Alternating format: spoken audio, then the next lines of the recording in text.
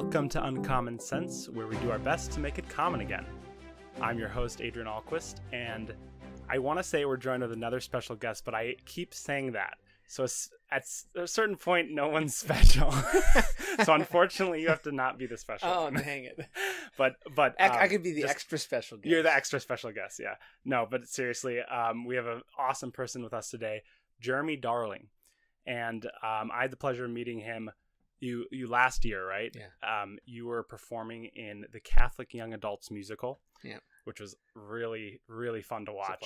Yeah, yeah. Our our mutual friend, uh, Father Kyle Kowalczyk, wrote that, and uh, and I I you, I came to you afterwards because you were the lead in the in the musical, and you were explaining to someone about your conversion story, Yeah, and you're like, and and you know they're influential writers like Dale Ahlquist. I'm like, hey, that's my dad, and then you're like, what?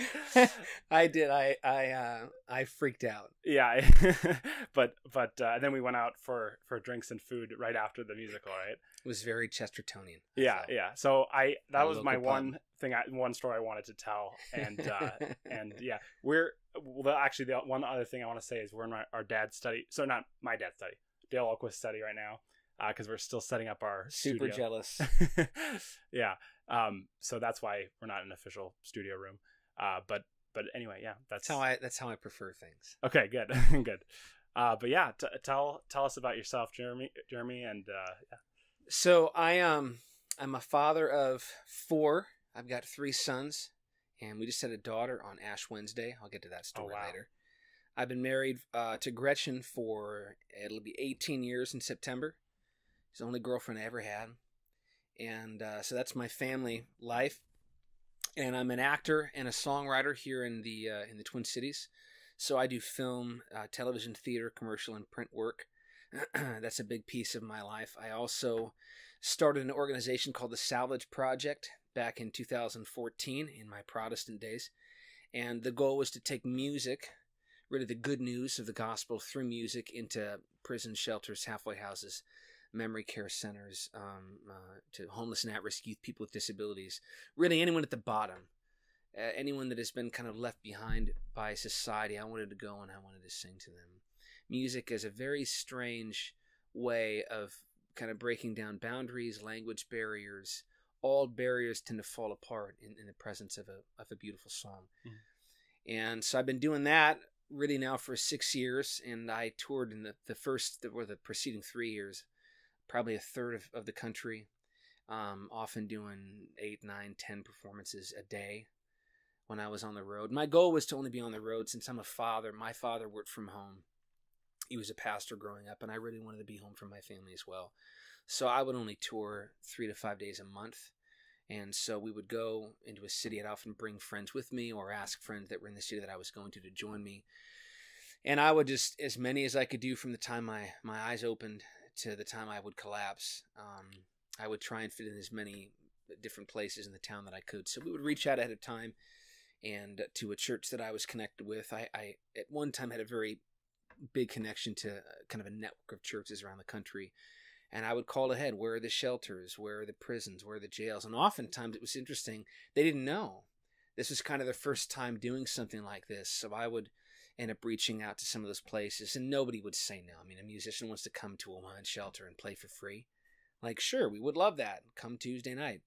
So that was also kind of a big piece of my life. And then in 2015, I, I started working with an organization now called Empower ARC, and they they were formerly known as the Abstinence Resource Center. The word abstinence, of course, is not a cool word to bring into schools, um, but they existed really to bring speakers into schools and encourage children to um, uh, pursue success by postponing sex until marriage.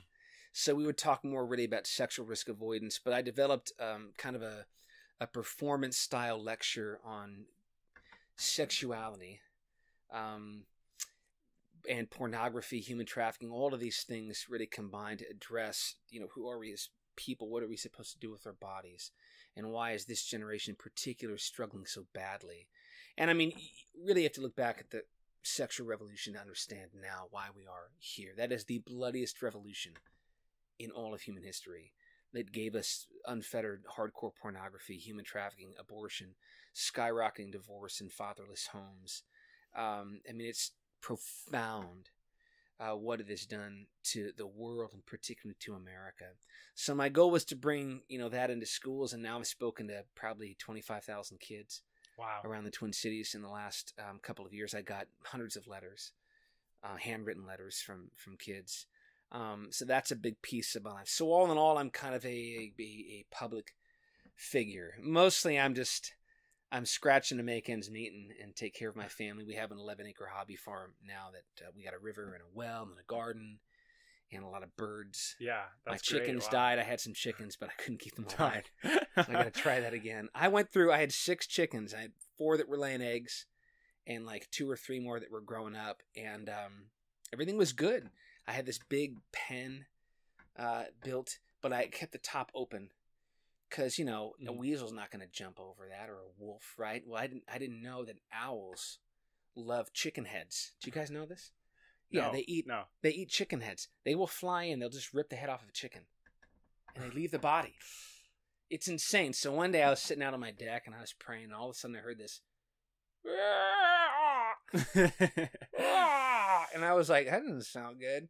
So I walked down to my garden because I would feed them the scraps in my garden.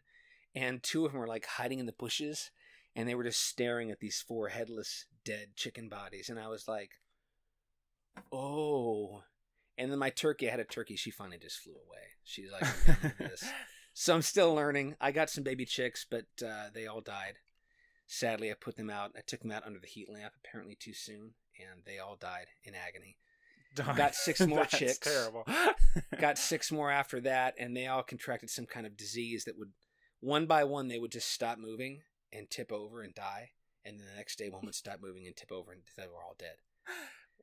So, Oh, no. still trying to get my Yeah. chicken thing down. I uh, I interviewed Brandon Vogt a couple weeks ago, and, and he has a farm too. oh yeah, Yeah, so that's awesome. Probably probably uh, go to him with. Some, yeah, if he uh, hears this, he's gonna be yeah. laughing his head off. No, but, but, that's my world. yeah. That's my life. that's great. Yeah, I, I feel like you've lived uh, multiple lives. oh, you have no Yeah. idea. yeah, well, well, um, last last week I interviewed Brent Forrest, and he he talked about his uh, journey to Catholicism, um, and that was what I was interested to hear from you uh, today. And then eventually, maybe uh, maybe next next episode, we'll talk about your life in theater and Great. and performing. How Sure, does that sound? that sounds great. I um, so my my journey's fairly recent, and it's it's uh, at least been for me pretty awful. Um, as I most conversion stories tend to be pretty awful in some way. Uh, for the I've yet to hear a story that was like, well, I just was decided to be Catholic, and everybody embraced me and loved me, and it was all awesome. Yeah, that's not how it Um, usually goes. I got I got to go back to the beginning. So I was I was born in 1981 in Ames, Iowa, to Mark and Kathy Darling. To this day, the two greatest Christians I've ever met in my life. Uh, in abject poverty, we lived uh, below the poverty line in a in a little trailer park there in Ames, and I only re- remember being happy and being loved. Um, and that's really a testament to my parents' faith and their devotion and their their diligence in not letting their circumstances get the best of them or their marriage. It was not easy for my mom uh, at the time being married to my dad. He was a, a recent uh, convert to Christianity himself and had a lot of issues to work out. My dad, I've never met anybody that does this in the Protestant world, but he would go out for hours in the woods just sobbing and begging God to change him. It was really his confessional. And that is probably maybe 90% of the reason my dad is who he is today and uh, why I had it's really a charmed childhood in spite of our financial difficulties. So we moved up to uh, Minnesota in 1986. My dad was ordained as a pastor, and he started um, some churches up here, non-denominational church. Really, the, the goal, the heart of our churches was to to be Bible based and not tied to any denomination. Um, and that they really did that well, as well as they could in in I think the limited scope of of that expression of Christianity. They did a tremendous job and we became part of kind of the seeker church movement in in the 90s and if you're not familiar with that term it really was designed to bring people in unchurched people in to hear the gospel. That was really our our goal. And they uh, for all intents and purposes they did a tremendous job at that. It was really a wonderful outreach. So i was raised in you know from diapers from the moment i was breathing air um, up until about two years ago in that in that world, and there's a lot of beauty there. I've worked very hard as I've come into my conversion um, to leave behind things that were hard for me or that were hurtful and just look back in gratitude. I learned from Richard John Neuhaus, who was a Lutheran minister for 30 years before he converted to Catholicism, um, that that's that's the best and safest way to go. The only regrets I have are my own shortcomings um, during those those years. So in 1999, I was 17, and we, along with my dad and uh, my older sister and some uh, singles from our church, we started a new church um, in Uptown Minneapolis, designed again to reach the unchurched. But Uptown at that time in the late 90s was the place where all the people went that were Wiccan and Satanists mm-hmm. and piercings and buttless jeans. There were people walking around Uptown at that time in buttless jeans. Wow. It was a crazy time in Uptown. And that's where we went. We want to go. They need Jesus. That's where we're going to go. And uh, it was probably only two months after we opened our doors in January of 99 that I met the woman that I would marry. Uh, my wife came very broken. Um, her high school experience, I mean, was pretty charmed from the outside, but she was a heavy drinker. She drove drunk 15, 20 times in high school. Um, she was raped when she was 16. Um, a lot of issues common to any pretty girl in mm-hmm. the mid 90s. So she came to the rock really at the bottom, and uh, my dad was doing a series. The pastors, in if, if, you're not familiar with the Protestant expression, you know there's a, there's a lot of music. I was on the music team, and eventually became their their worship leader. And then there's about a 45 minute message. And my dad was doing a series called Overcoming Broken Relationships, which would go down as one of the most probably important things my dad has done. And that's what really caught my wife's heart. And she gave her life to Christ and was baptized. Um, in our church, I actually was the one that, that, that baptized her. We very quickly became best friends, which was new for me. I'd never had a, a best friend. I didn't have a lot of friends growing up. Hmm. And it was later that fall we my dad kind of forced us to acknowledge like you guys like each other, right? and um, I would have married her pretty quickly after that. Even I was only freshly eighteen. Um, but we we ran into just a mountain, just a mountain of of trials that I was kind of expecting. I mean, you're never really prepared for like the worst things to happen to you, but it was good to see my wife's response. You know, newly minted as a Christian, um, her response was just tremendous uh, amidst a lot of persecution over our relationship and her her life, newfound life in Christ. So we ended up getting married in 2002 and kind of started our our life together. Um, there was a lot of a lot of really really that our marriage kind of christened the moment when all of the worst things ever would just be poured out um, on our heads. So my sister ended up getting very sick for about six years very sick. My little sister, I have a younger brother, a younger sister, and an older sister. So my younger sister got very sick, and there were just a lot of health problems around our family. I mean, our just turned upside down, and we didn't end up getting pregnant with our first child until 2009 which was the worst at the time, the worst year. Yeah, right after the crash, right? Yeah, um, but we ended up. My sister was basically dying. She was sent home from Mayo to die. They couldn't wow. fix her and they had treated my family very bad at the Mayo Clinic. Um, in a whole series of just miraculous events, um, my sister got well. We had our baby in October of 2009, and that was kind of the turning point. Um, it was, I mean, uh, he was Wyatt, my oldest, was really kind of our miracle baby. So we're trying to kind of rebuild a life, and and our family kind of trying to come back together after this intense, intense life changing trial that we honestly, I just try not to talk about anymore. Um, had our second child in 2012, another mountain of trials followed that. And then our third child came in uh, 2016, another mountain of trials. Uh, my kids just seem to bring like, they either come at like the cusp of a trial or like the beginning of a trial. Yeah. And you know, just living life, uh, doing the rock. I was I'd started a ministry at the rock called Ever Island, and um, I was ministering to uh, homeless and at-risk youth. We were doing music concerts every week, and it was uh, it was a beautiful thing. Then, um, it was the end of 2017, and there was just kind of this wave of uh, the the Me Too movement really exploded, and I had this really strange sense that you know I think this is all a ruse. I think this is being done not to expose the bad guys, but to try and frame the good guys. and it was January, it was like December 31st or January 1st. I, I emailed, um, that was maybe the end of January. I emailed a bunch of friends. I said, guys, they're coming for us. They're coming for the, for the, the Christian men that have loved their families, loved their wives. Um, this is sort of Joseph. I felt like this scenario of Joseph back in the Old Testament mm-hmm. was was really coming for every man. So I said, I think we got to lawyer up. I, I have a prepaid legal service uh, that I pay for. It's my whole family's covered, and I get sixty hours of in trial uh, legal defense.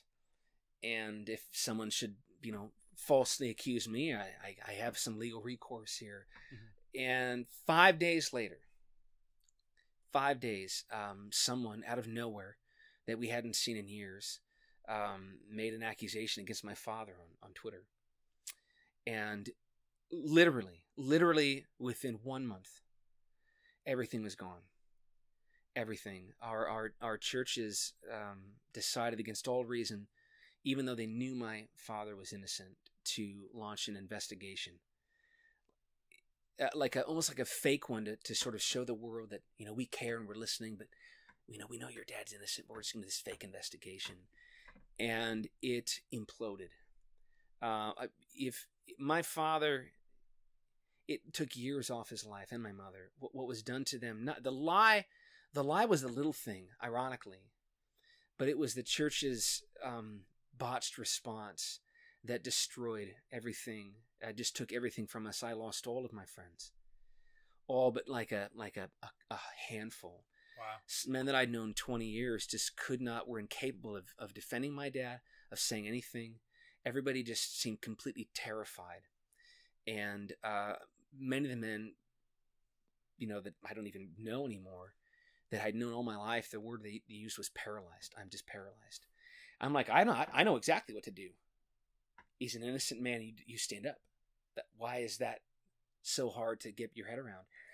So March came around in 2018, and I sat down with some of the leaders. I said, "Look, guys, you got a week to figure this out. If you don't, I'm I'm I'm going to war for my father.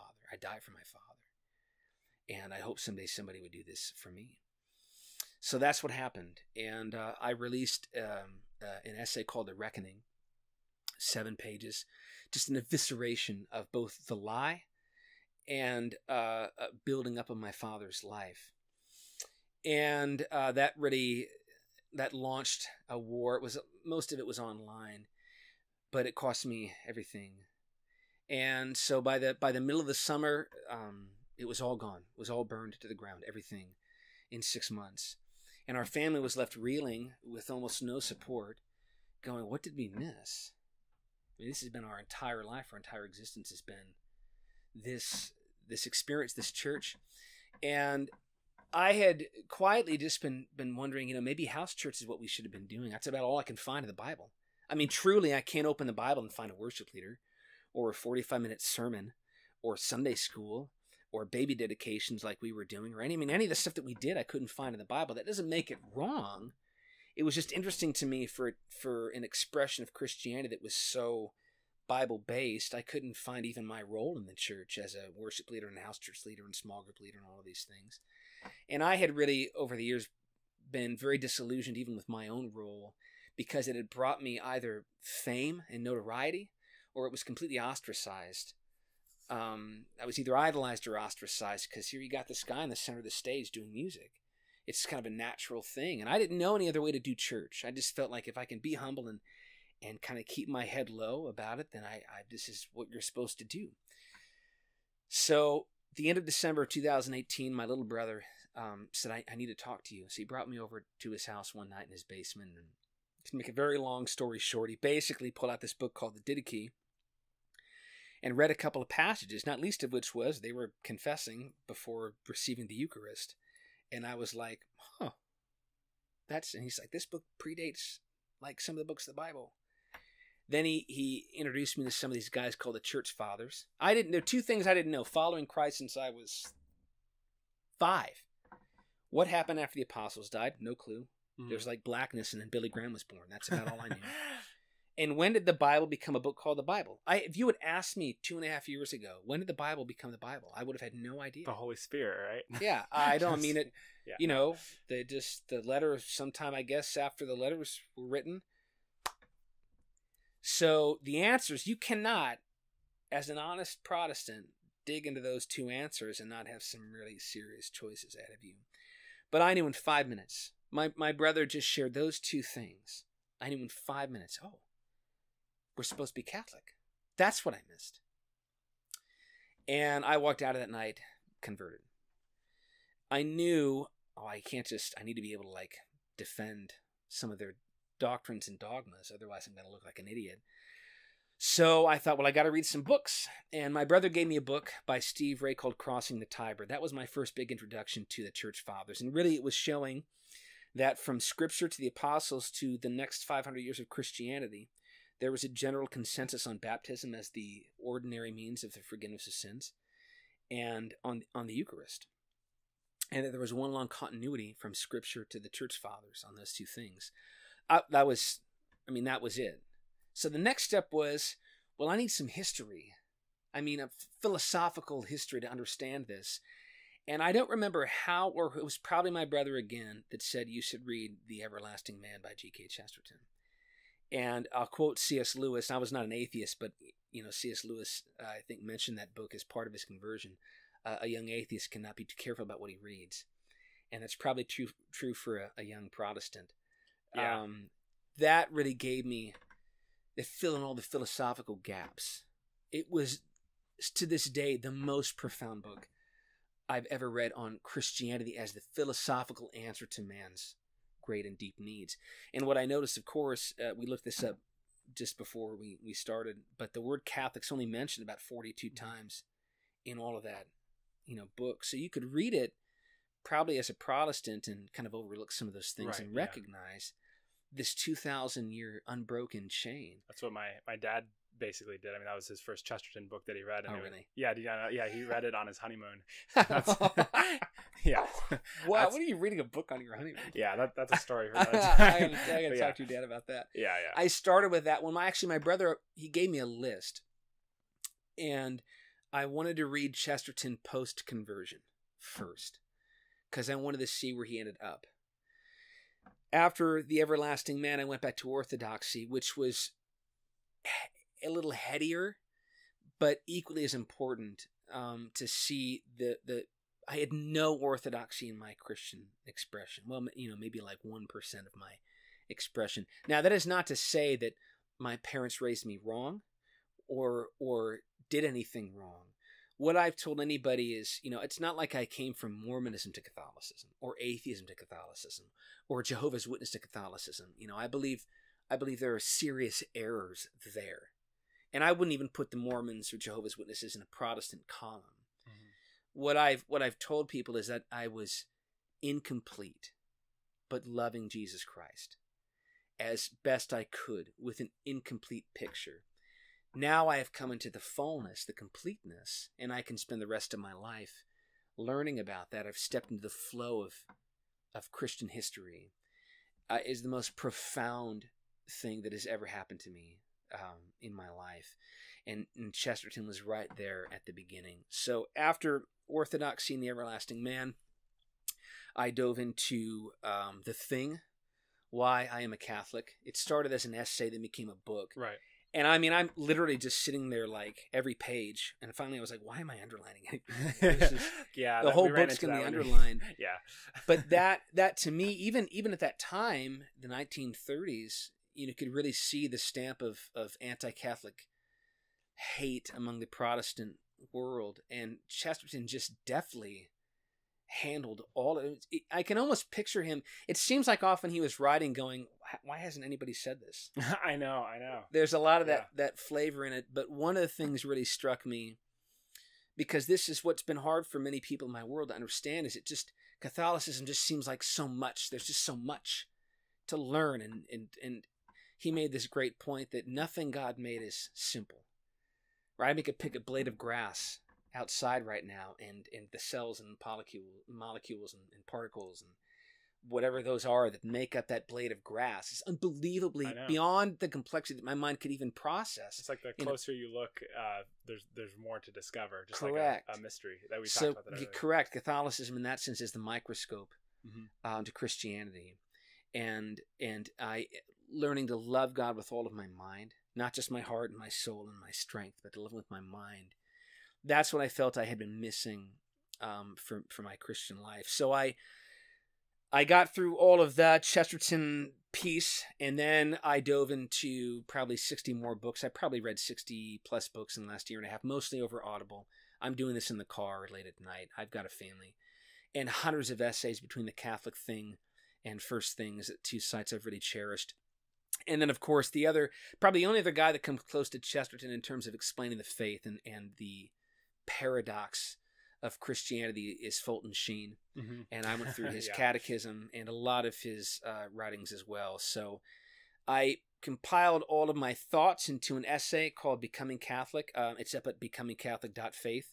And really, it's just kind of an amalgamation of what I struggled with before, what I found in Catholicism.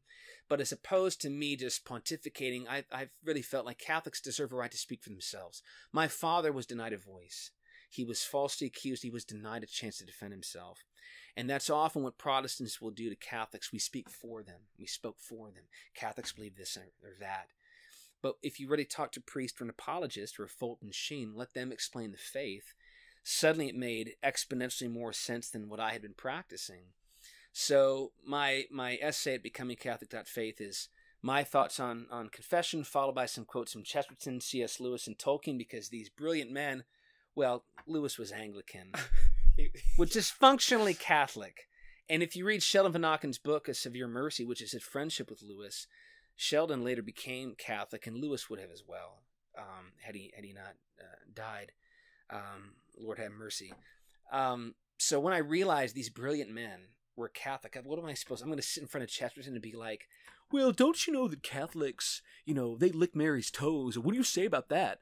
I mean, it's just Yeah, these are yeah. brilliant men, and you don't have to be brilliant. You can be the dumbest guy, right? You could be a Peter, a Saint Peter.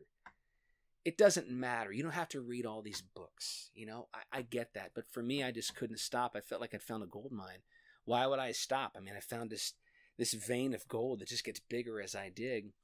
So uh, I finished the essay, and earlier in the year, I began kind of sending out to my family and and quietly kind of making my entrance into the publicly into the Catholic.